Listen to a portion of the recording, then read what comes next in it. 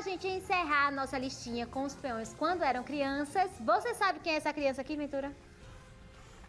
Ah, eu já sei. Parece muito com você. Esse daqui já estava procurando as coroas. Esse aqui era o cara, aí depois veio os coroa. Sabia mesmo quem era? É Parece. ele? É o Tiago. É. É. Ah, olha aí. Já era fã do Neymar, viu? Ele já era, viu? Um dos peões mais polêmicos desta temporada. Tiago sempre gostou de jogar bola quando criança. Ele até chegou a investir na carreira de jogador de futebol, mas hoje ganha vida como influenciador digital e modelo. Vocês sabem que ele também começou a ganhar destaque na mídia em 2020.